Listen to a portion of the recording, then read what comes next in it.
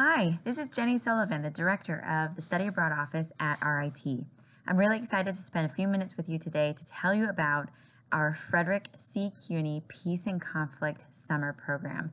This is a flagship program at our global campus in Kosovo. It takes place June 26th through July 31st. This program is named after the noted American humanitarian Frederick Cuny, who is considered a really influential thinker and innovator and practitioner in a humanitarian response, and his legacy is really reflected throughout this program.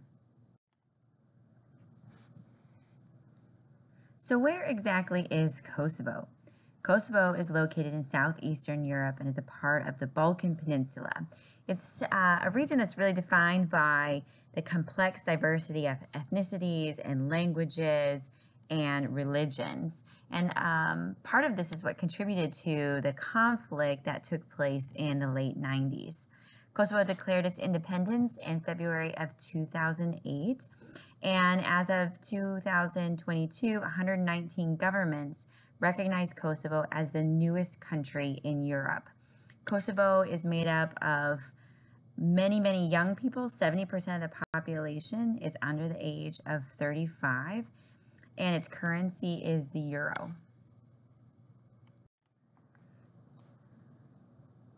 RIT has had a campus in Kosovo for many years, offering a few RIT degree programs to local students. Um, but you can take advantage of it as a study abroad student. You could go for a semester or for the summer program. Your courses are all offered in English, and there's common coursework offered in the disciplines of public policy, political science, international relations, and economics. Our campus is located in the capital, Pristina, and the summer program has been around for 10 plus years and is really well known across the US. Many students from uh, universities in the United States participate. You can see here a little bit about what campus life is like. Faculty members are really accessible and approachable, often uh, meeting informally with students. And campus is located in a lovely area of uh, Park with walking trails and picnic areas. Um, a, be a really beautiful setting. The Fred Cuny summer program has such a fantastic reputation all over the United States. Universities from all over the country send their students on our unique program because of its immersiveness. So the courses that are taught by practitioners, policy makers, former government officials, humanitarians, uh, leaders of NGOs who were there during the conflict and have directly participated in the rebuilding process. So they are sharing their firsthand accounts, which is so unique. Um, all disciplines are welcome to participate. Um, you're going to earn six credits through two classes. You're going to have opportunities to tour historic, cultural, and politically significant sites um, on your own time and as a part of the program, all inclusive. And you will pay a significantly discounted tuition for those six credits, way less than what you would pay for them here on the main campus. As I mentioned, one of the things that makes this program so unique is the firsthand accounts and the voices you will have access to. You're going to participate in informal seminars to explore the current challenges and the impacts that have come and been born out of the conflicts. You're going to talk about opportunities in the region. You're going to participate in, in workshops and simulations of peacekeeping operations. The whole summer program kicks off with a one week study tour included as a part of the program. You're going to visit Albania, Montenegro, Croatia, and Bosnia and Herzegovina. So you're going to get a, a, a in depth understanding of the history and the region, what led to some of the conflict, um, and how those complexities play out. You're going to really dissect that more in your courses when you get back to Pristina.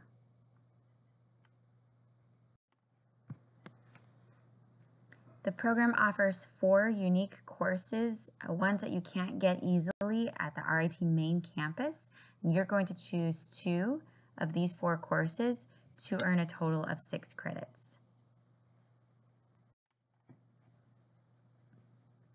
Through activities like political reporting and policy analysis, um, simulations, um, understanding the ethical dimensions of the decision making that happened during the peace process, understanding the outcomes of negotiations and international humanitarian law, you're going to come away with some key insights and skills. As far as living in Kosovo, here are some things you can expect.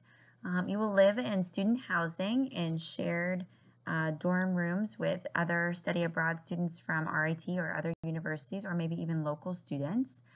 Your program fee includes three meals a day, Monday through Friday, at a restaurant on campus. You can expect to be in class two to three hours a day, and then you'll have free time and weekends to explore and get involved in cultural activities and events and festivals. Pristina is, has really vibrant culture, um, incredible cuisine, concerts, museums, clubs, and a great cafe culture, sipping, drinking coffee, and getting to know people. It's also a really affordable city. It's very common for people to have a coffee break, sit outside, get to know each other, and you'll find that United States citizens are really welcomed and respected because of the role that Bill Clinton played in bringing peace to the region. He's really looked upon as um, a prominent figure there in the region. Here are some more images to just give you a sense of what life is like. You can see the architectural styles are varied and different and reflect kind of what was happening at that time. Um, Pristina is a very walkable city. It has some public transportation, so it should be not too hard for you to get around. So I've mentioned this discounted tuition, and what I want to point out to you is that for these six credits, you are paying the local tuition rate, what local students from Kosovo pay to attend RIT Kosovo. So you're going to pay just $2,568 for those six credits of tuition. Then you will pay a program fee, which consists of your housing, those three meals a day, five days a week, that pre-study tour, week-long tour that takes you to Albania and Montenegro, orientation, and that total only costs $2,200. Those are the amounts that will be billed to your RIT e-services account. Then you should also be prepared to pay some out-of-pocket expenses, and these are estimated around $1,700, and this will include your airfare, any meals that aren't included in the program, and personal expenses. Financial aid may be available, so the important thing to do is take a copy of the official budget worksheet, which you could find in our application database, the Compass, to a meeting with your financial aid advisor, and they'll be able to tell you how your aid can and will apply.